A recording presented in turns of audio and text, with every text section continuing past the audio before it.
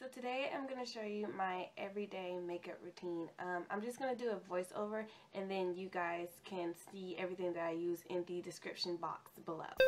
Before putting makeup on my face, I always um, do my face cleanser with Neutrogena Rapid Clear and I also use their 2-in-1 toner before putting on my foundation.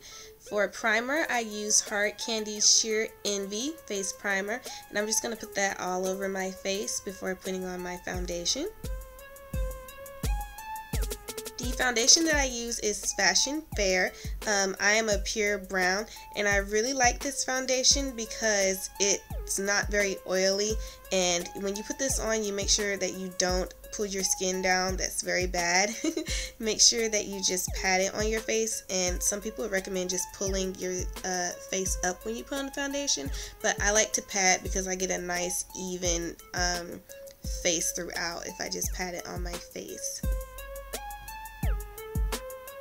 and as you can see when I put on this foundation it's real easy to cover up those dark spots. So if I have those on my face I can just apply apply.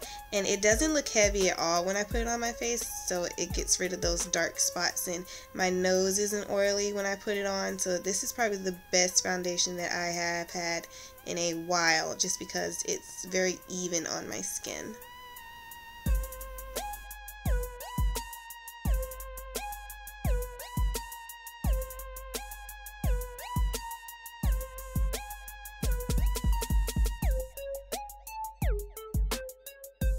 Next I'm going to apply my Bad Gal eyeliner. I'm just going to apply it on my eyelid and my waterline. I've had this eyeliner for years. It's probably why um, the letters on it is faded.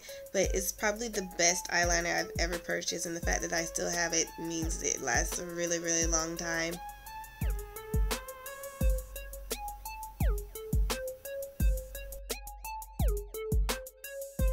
I'm just putting some lip balm on my lips before putting on my lipstick.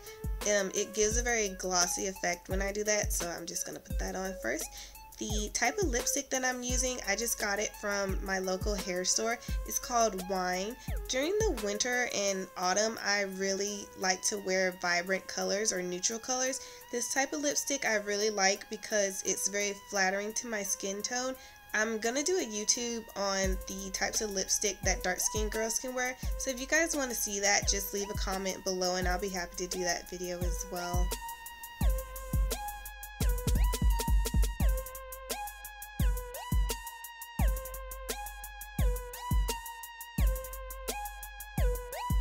Now I'm just going to fix my hair to the way I like it and this is typically the look that I'll go for if I'm just going out for the day, going to lunch or just hanging out with my friends. If you like this video, give me a thumbs up. If you have any comments, just put them in the comment section and don't forget to subscribe.